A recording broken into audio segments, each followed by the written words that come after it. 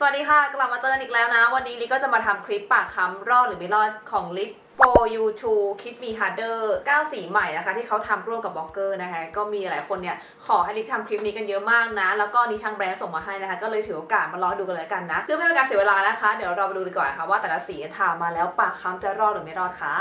มาที่สีแรกกันเลยนะคะ อันนี้เป็นสีของพี่สายป่านนะคะ เป็นเบอร์ 29 นะเขาจะมีชื่อสีไว้ให้ด้านหน้าหลอดอย่างนี้นะคะ อะ มาดูสีกันเลย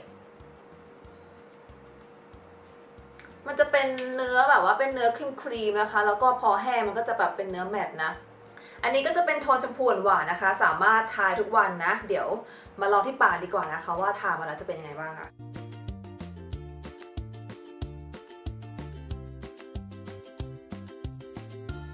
สีนี้เป็นชมพูที่หวานดีนะคะ คือมันไม่หวานมากแล้วก็เป็นโทนที่ทุกสีผิวก็ใช้ได้นะ คือผิวอย่างดีก็ทาได้นะคะ เห็นไหมว่ามันดูแบบไม่ได้เป็นชมพูที่ดูโดดมากแล้วก็สว่างเกินไปนะคะ สีนี้ให้รอดนะคะ สีต่อมานะคะ อันนี้เป็นสีของพี่นีน่านะคะ ก็เป็นโทนชมพูเหมือนกันนะ นี่ สีนี้ก็จะเป็นชมพูที่ดูหวานกำลังดีเหมือนกันนะคะ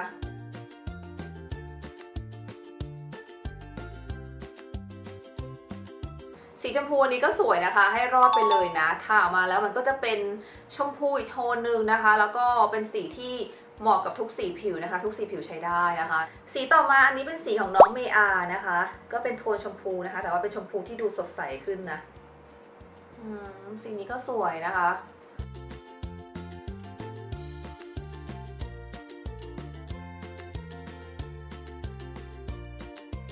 นี่นะคะ พอถามมาแล้วก็จะเป็นแบบนี้นะคะ ก็จะเป็นโทนชมพูอมม่วงนิดนึงนะคะ สีนี้ก็ให้รอดนะ สามารถกลบปากคำได้มิดนะคะ อืม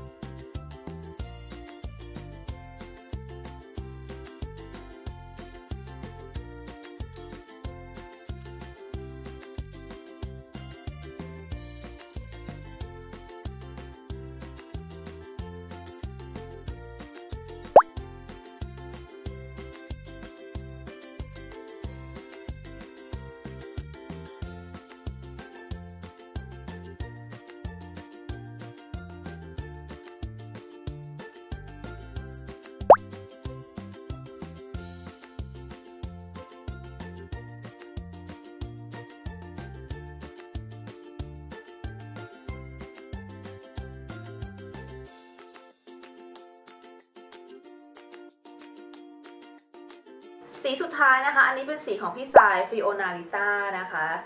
นี่นะนี่นะคะก็จะเป็นสีแบบว่าแดงแบบแดงวายนะคะ แดงแบบ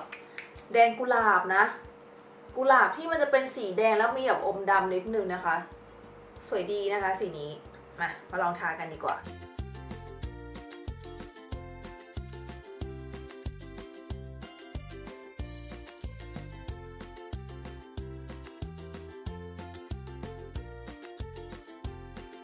สีนี้สวยมากนะคะให้รอบไปเลยนะ สามารถกลบปากคำได้มิดเลยนะคะ แล้วก็เป็นสีที่ถ้ามาแล้วมันขับกับผิวแล้วก็ช่วยขับให้ฟันดูขาวขึ้นนะคะ แล้วก็เป็นสีที่คิดว่าทุกสีผิวทาได้นะคะ ถ้าเกิดว่าใครชอบทาลิปสีแบบแซบ คือทาแล้วแบบดูแบบเปลี่ยนลุคไปเลยก็ลองลองสีนี้ดูนะคะอืมก็หลังจากที่ได้ลองทาแล้วทั้ง 9 สีนะคะ ก็จะเห็นเนาะว่าทุกสีสามารถกลบปากคำของลิปได้มิดเลยนะคะ แล้วก็สวยทุกสีเลยนะ เป็นโทนสีที่เหมาะกับทุกสีผิวเลยนะ แต่ว่าก็ต้องเลือกเอาว่าแต่ละสีจะใช้ในโอกาสไหนนะคะ มีอยู่ 4 สีที่ลิปชอบที่สุด แล้วก็เป็นสีที่อยากแนะนำถ้าเกิดว่าใครที่มีสีผิวคล้ายกันนะคะ สีแรกก็เป็นสีของพี่สายป่านะคะ มันจะเป็นสี ชมพูที่ทาได้ทุกวันแล้วก็เป็นชมพูที่ดูไม่นูดเกินไปนะคะ เป็นชมพูที่แบบว่ากำลังดีไม่หวานเกินไปนะคะ ต่อมาก็จะเป็นสีของพี่นุ้ยโซโนนุ้ยนะคะ อันนี้มันจะเป็นสีแดงอมน้ำตาลนะคิดว่าสีนี้มันดูแบบว่าสวยสุภาพแล้วก็ดูเปรี้ยวๆนะคะ อืม สีนี้สวยมากนะคะ ชอบเหมือนกัน ต่อมาก็จะเป็นสีของคุณนุ่นนบลักษ์นะคะ อันนี้ก็จะเป็นสีโทนนูดน้ำตาลนะคะ อมชมพูนิดนึงนะ สีนี้ก็สวยนะคะ เป็นสีที่ทาได้ทุกวันนะคะ เป็นโทนสุภาพนะคะ และสีสุดท้ายนะคะ เป็นสีนี้เลยนะคะ เป็นสีของพี่ทรายฟิโอนาลิต้านะคะ สีแบบแดงวาย แดงกุหลาบอะมันดูลึกลับดีทาแล้วแบบขับให้ฟันดูขาวดีนะคะ ก็ต้องลองเลือกกันดูแล้วกันนะคะ ว่าแต่ละคนอะชอบสีแบบไหน แต่ว่าถ้าเอาแบบอย่างที่ลิกชอบเลยลิกชอบสีสีนี้นะคะเพราะรู้สึกว่าเออมันเข้ากับตัวเองนะคะ ไม่ใช่ว่าสีอื่นไม่สวยนะสีอื่นก็สวยนะคะเขาเป็นเนื้อลิปที่ค่อนข้างจะบางเบาเลยทาแล้วสบายปากนะคะ ติดอยู่ที่ว่ามันค่อนข้างจะแมตต์หน่อยถ้าเกิดว่าใครที่ปากแห้งมากก็แนะนำว่าให้บำรุงลิปก่อนละกันนะคะ เรื่องของความติดทนเนี่ยติดทนปานกลางนะคะ ถ้าเกิดว่าทานข้าวทานอะไรก็จะมีหลุดบ้านนะคะแล้วก็เขาเป็นลิปที่ล้างออกง่ายนะคะ ไม่ไม่ต้องมาตั้งถูลิปนานนะเพราะว่าลิปแมทบางยี่ห้อที่เคยใช้มา มันแมทมากใช่ไหมพอแมทมาก เวลาที่เราล้างออกเนี่ย มันจะใช้เวลาในการ ถูค่อนข้างนานแต่เนี้ยล้างออกง่ายนะคะ ลองดูละกันนะคะ ถ้าเกิดว่าใครเคยใช้แล้วเนี่ยรบกวนคอมเมนต์บอกกันด้วยนะคะ ว่าใช้แล้วเป็นยังไงบ้างชอบสีอะไรนะคะ วันนี้ต้องขอตัวไปก่อนแล้วนะคะ ถ้าเกิดว่ามีคำถามอะไรเพิ่มเติมสามารถคอมเมนต์บอกกันได้ใต้คลิปนี้เลยนะคะ หรือว่าจะไปคุยกับลิที่ Facebook Instagram นะคะ ชื่อเดียวกันเลยชื่อว่าลิกานะคะ แล้วก็ขอฝากช่องรองด้วยนะคะ เป็นช่องที่ทำเกี่ยวกับวอล์กนะถ้าเกิดว่าใครชอบดูวอล์กนะคะ ก็ช่องนี้นะลิกิทอยนะคะ วันนี้ต้องขอตัวไปก่อนแล้วนะคะแล้วเจอกันใหม่คลิปหน้าค่ะบ๊ายบายค่ะ